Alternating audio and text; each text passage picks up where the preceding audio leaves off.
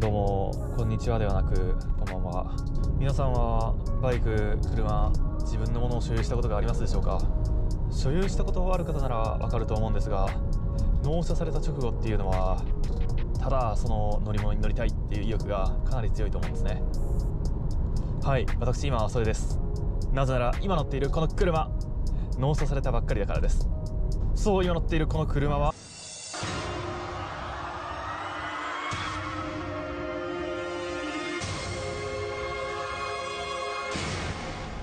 そう今乗っているこの車は。おっと。まあそういうこともある。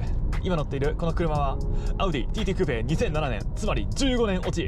6万4000キロぐらいで購入。ちょっとあの全てがもうなんかダメだ。6万4000キロぐらいの時に購入して6万7000キロなんでだいたい3000キロぐらい走っていますね。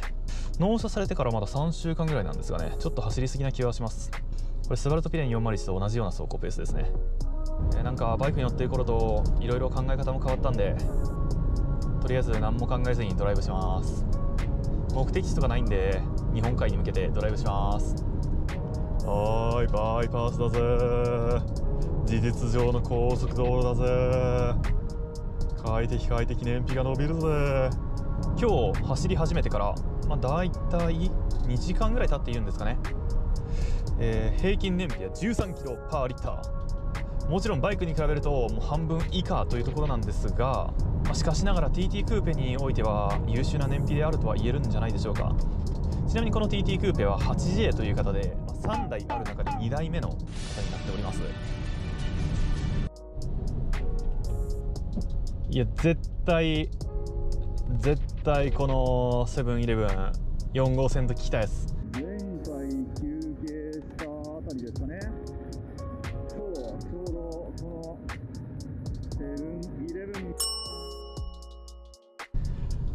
絶対だね。もう断言してもいい。絶対ですよ。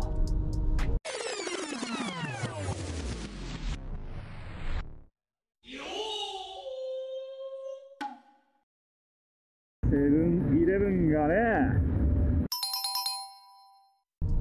はいというわけで会津西海道道の駅田島。休憩です。はい。一旦休憩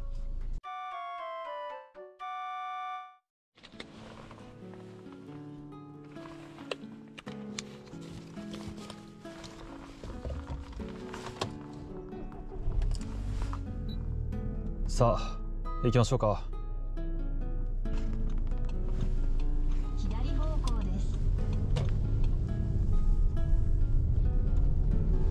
15キロメートル道なりです。夜が明けてるなぜならば6時27分1時間ぐらい仮眠をしようと思ったんですが結局寝れずダラダラ過ごしてすっかり夜明け幾分幻想的な空の模様が見えるんですがバッチリ曇りです。うん。猛烈に工事してる。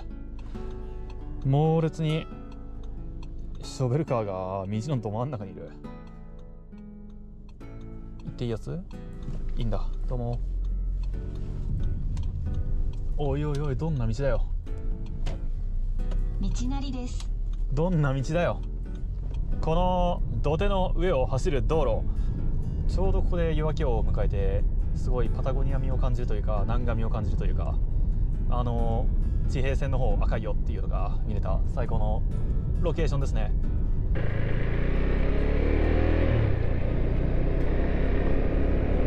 日の出だ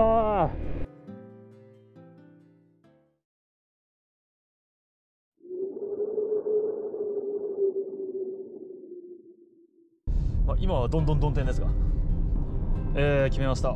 本当は今日はただ単にドライブって考えていたんですけれども今日今この瞬間から休みが2.5日ある。でほぼ新潟にいる。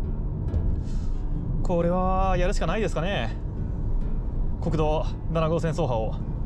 新潟から青森まで下道で走る。